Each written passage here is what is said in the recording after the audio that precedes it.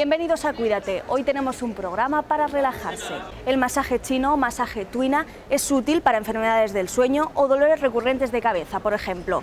La medicina tradicional china tiene años de experiencia y eficacia comprobada y comparte protagonismo en ese país, en China, con la medicina occidental. Como hemos dicho, el masaje chino va bien para conciliar el sueño y profundizamos en este tema hablando de los alimentos que van bien para dejar de roncar. Comienza Cuídate. Al igual que existen trucos para dejar de roncar o hábitos como dejar de fumar que nos ayudarán a eliminar esos gruñidos, también podemos ayudarnos de diferentes alimentos para terminar con los ronquidos nuestros o de las personas que duermen cerca. Aunque existen diferentes métodos para eliminar los ronquidos, como medicamentos, tiras nasales o diferentes artilugios, a veces la solución se encuentra mucho más cerca. Aquí tienen 5 alimentos para dejar de roncar. La miel usada por cantantes para aliviar sus gargantas, también nos ayudará a prevenir los ronquidos, debido a sus propiedades antiinflamatorias que liberarán las vías aéreas. El té de menta nos ayudará a eliminar las flemas, mejor sin ellas para ir a la cama.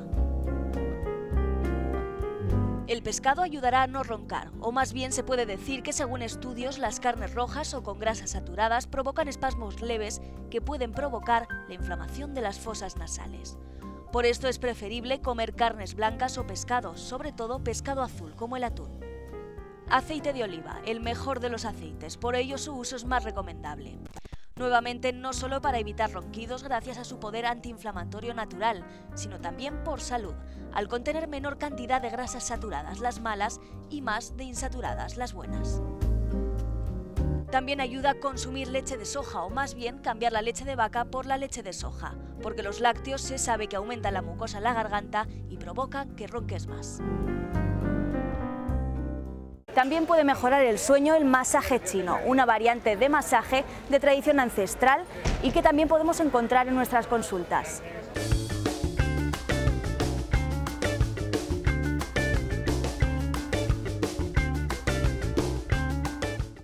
Hacía años que María no conciliaba bien el sueño, se despertaba a las 4 de la mañana y no podía volverse a dormir. Entonces descubrió el masaje chino y desde entonces sus problemas de sueño han desaparecido. Contenta porque es que si no duermes pues no, no estás bien. El masaje chino también le ayudó a eliminar sus problemas de migraña. Siempre he tenido muchos dolores de cabeza.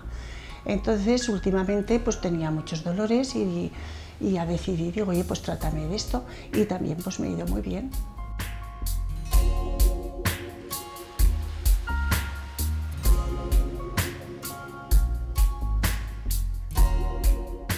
Yo estaba viviendo en China, he vivido cuatro años en China y entonces aproveché, porque siempre había estado interesada en esto de los masajes, y aproveché para, para estudiar allí porque claro, es la base, es donde están los mejores profesores.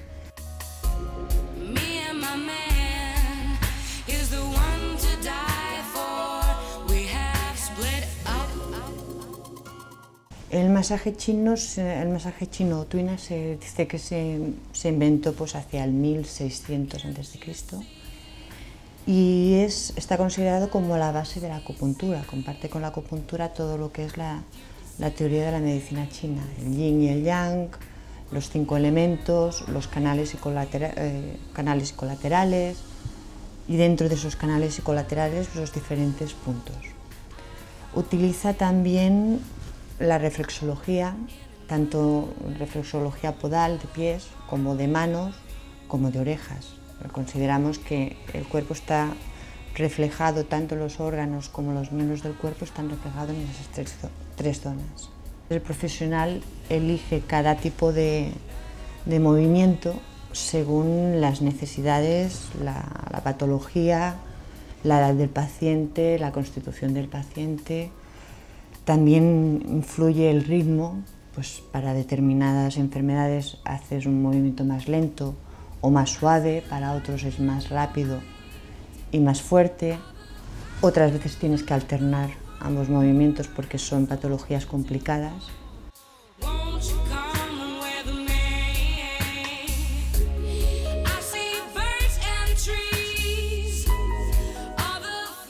El Twina básicamente trata casi todas las patologías que puedes tratar con acupuntura. Entonces puedes tratar desde un simple resfriado hasta se, se puede tratar también pues casos de musculares, dolores musculares, mm, puedes tratar casos de insomnio, de migraña, de estrés.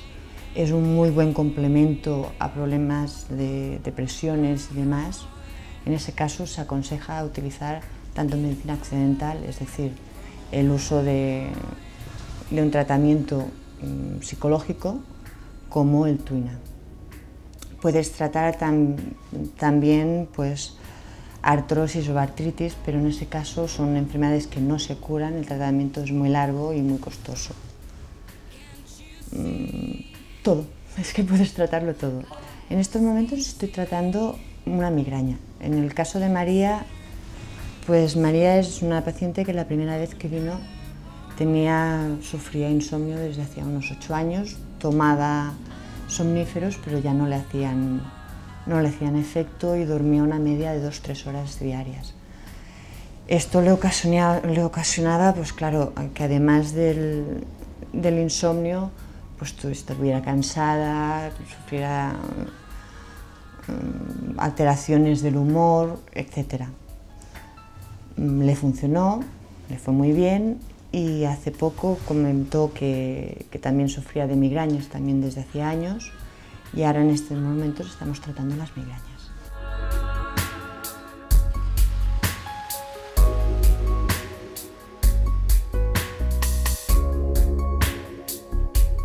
Hay muchos movimientos diferentes y se utilizan en diferentes partes del cuerpo. En el caso de los, de los masajes craneales, pues utilizamos básicamente lo que son los, los pulgares. En el caso de, de los dolores musculares o bien de ligamentos, pues María, por ejemplo, también ha, venido a tratarse de las lumbares que le dolían. Utilizarías mm, diferentes partes del cuerpo. Se puede utilizar la mano, se puede utilizar el pulgar, al igual que en los movimientos craneales. Puedes utilizar el pequeño pescado o bien el antebrazo. Lo utilizaríamos tanto en el tuifa, que sería arrastrar,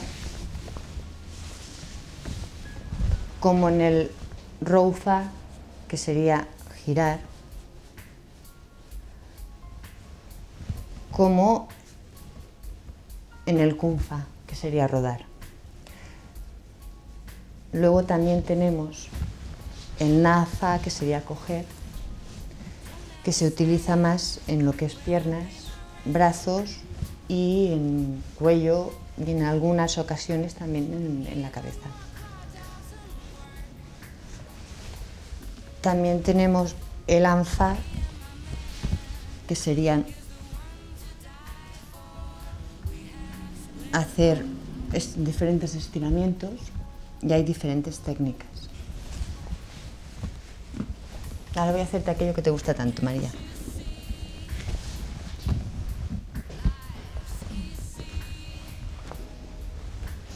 Estos serían básicamente los, movimientos más básicos del, del Hay más, perdón, del tuina.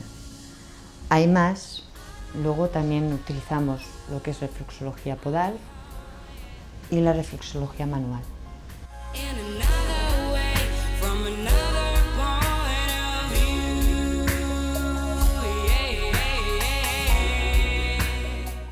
Además del, de lo que serían movimientos de tuina, pues lo que hemos dicho, el tuina es la base de, lo que es la, medicina china, se considera. Entonces, mm, todos hemos oído hablar de la acupuntura que utiliza lo que son diferentes canales del cuerpo. Este, por ejemplo, sería el canal Du, Eh, está luego el canal del riñón, que nace aquí. Está también el canal del estómago, el del corazón, el del bazo. Eh, hay muchos canales. Estos canales están formados, en cada canal está formado por diferentes puntos. Entonces mm, se puede hacer lo que yo utilizo, que es la digitopuntura. Se puede utilizar también la acupuntura, lo que también ocasionalmente utilizo como complemento. Y también puedes utilizar la moxa. La moxa es una, hierba que se utiliza muchísimo en, en China y su efecto pues lo puedes utilizar en cajitas como estas. Como podéis ver hay una diferencia de, lo que es la base a la zona mm, donde se coloca en el cuerpo. Entonces, en ese caso, lo que haces es quemar un trocito de la barra de moxa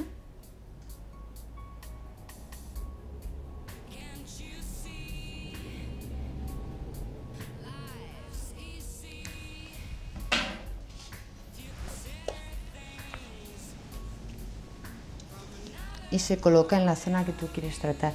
La caja esta se utiliza cuando quieres tratar varios puntos.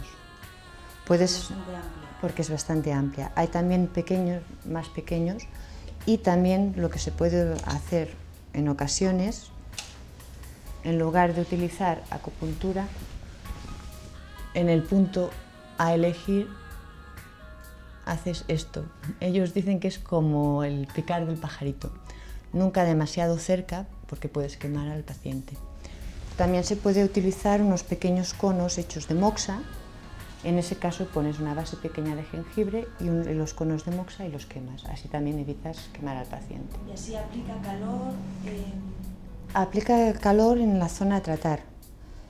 La moxa funciona pues parecido a estas lámparas que se utilizan a veces en acupuntura o en masaje, con la diferencia de que es algo totalmente natural y se dice que coge la humedad, también es muy adecuado pues, en caso de pacientes con reuma, artrosis y así.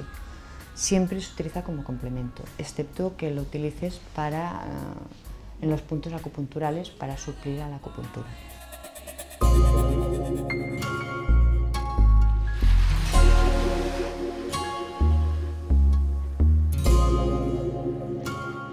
Si tú vas a un hospital chino, a un consultorio chino, Allí lo común es encontrarte tanto de la especialidad de medicina occidental como de la especialidad de, medicina china. Es muy común que médicos que utilizan la medicina occidental deriven a, médicos especializados en medicina china, acupuntura, tuina y demás, como que también es muy común que los profesionales del tuina o la acupuntura deriven a medicinas occidentales. Es complementaria es complementaria muchas veces, a veces mm, se puede utilizar solo y otras veces es una buena terapia complementaria. Pues eso, y cuando, encontré, cuando ya vi que no me dolía la cabeza dije, pero bueno, es que esto es, es fabuloso, no, no, no sé cómo no lo he podido conocer antes, porque yo he sufrido mucho de dolor de cabeza.